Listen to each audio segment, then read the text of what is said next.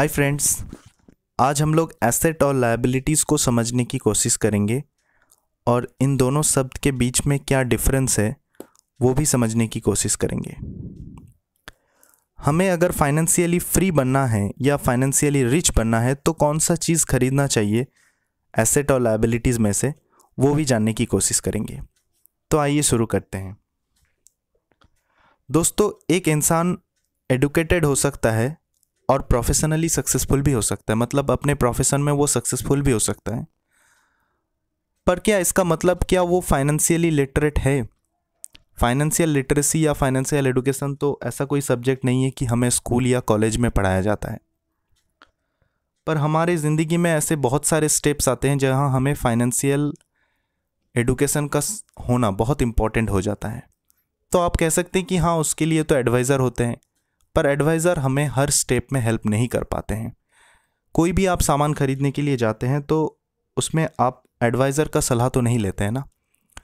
तो इन सब छोटे छोटे चीज़ों के लिए आपके अंदर भी फाइनेंशियल एडुकेशन का थोड़ा बहुत समझ होना इंपॉर्टेंट है। तो इसी फाइनेंशियल एडुकेशन में एसेट और लाइबिलिटीज़ ये कंसेप्ट क्लियर होना चाहिए। कौन सा सामान मेरे लिए एसेट है, कौन सा मेरे लिए लाइबिलिटीज़ है, वो समझना ज़रूरी है। और एक सीक्रेट की बात करें दोस्तों तो अगर आपको रिच बनना है तो बस अपना एसेट का जो कॉलम है, उसे बढ़ाते जाइए। मतलब एसेट खरीदते जाइए और लाइबिलिटीज़ को कम करती जाइए तो आप रिच बन जाएँगे। बस इतना आसान है। Keep it very simple buy the asset and reduce your liabilities तो क्या एसेट क्या है? एसेट आसान भाषा में बोला जाए तो वो चीज़ होते हैं जो आपके जेब में पैसा डाल देता है। और लाइबिलिटीज़ आपके जेब से पैसा निकाल लेते हैं। मतलब asset put money in your pocket and liability takes money out of your pocket जैसे कि कार ले लेते हैं आप एक, इस साल में।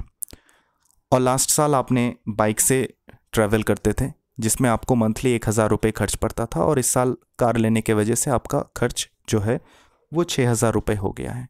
तो ये जो पाँच हज़ार रुपये आपका खर्च बढ़ा है, कार लेने के वजह से, ये आपके लिए एसेट है लाइबिलिटी है, क्या है? अगर ये कार आपके ज़िंदगी में कोई एक्स्ट्रा बेनिफिट नहीं डाल देते हैं except that so of and you know life तो ये कार आपके लिए लाइबिलिटी है। पर यही कार अगर आपके बिज़नेस को स्मूथ करने में हेल्प कर रहा है तो शायद ये कार आपके लिए एसेट है। आपने एक टीवी खरीद ली है, जैसे कि you know seventy two inch ultra H D T V खरीद ली है फोर के टाइप जो आपके घर के या रूम के हिसाब से सही नहीं था। शायद इसकी ज़रूरत नहीं था, पर आपके लिए शायद एक बत्तीस इंच का टीवी चल जाता था, पर उसके बाद भी आपने एक बहत्तर इंच का टीवी खरीद लिया है।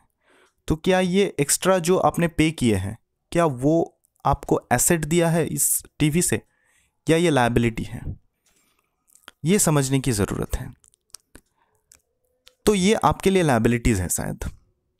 पर अगर यही टीवी आपने आपके शॉप के शोरूम पे लगाए हैं जिसमें आपका कस्टमर का रिव्यू बढ़ा है तो शायद ये फिर आपके लिए एसेट है।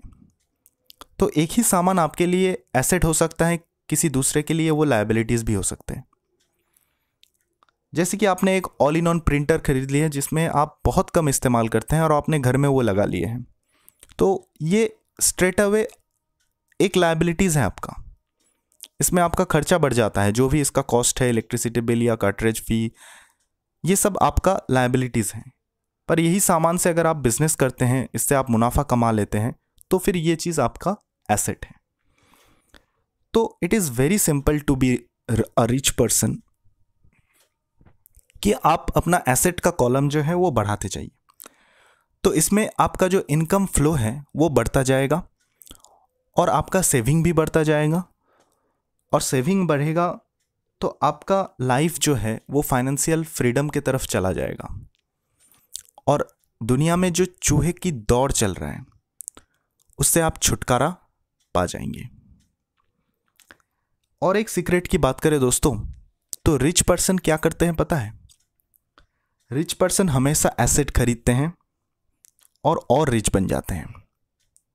जबकि पुअर पर्सन के पास सिर्फ़ लाइबिलिटीज़ होते हैं और सिर्फ़ वो पुअर बनते जाते हैं धीरे धीरे पर मुश्किल आ जाते हैं मिडिल क्लास के लिए। जब वो सामान खरीदते हैं तो उसे लगता है कि वो एसिड खरीद रहे हैं, पर है वो उसके लिए एक लाइबिलिटीज़ तो इससे बचिए और फाइनेंशियल फ्रीडम की तरफ़ आगे बढ़िए। मेरा इस वीडियो का उद्देश्य यही था कि आप अपने हिसाब से एसेट और लाइबिलिटीज़ को फ़र्क कर लीजिए। हमेशा एसेट को खरीदें ताकि आपका जो इनकम है, वो बढ़ता जाए और एक्सपेंडिचर है, वो कम होता जाए। थैंक यू दोस्तों, अगर मेरा ये वीडियो अच्छा लगा तो इसको लाइक शेयर और कमेंट करना मत भूलिए। And do subscribe my channel thank you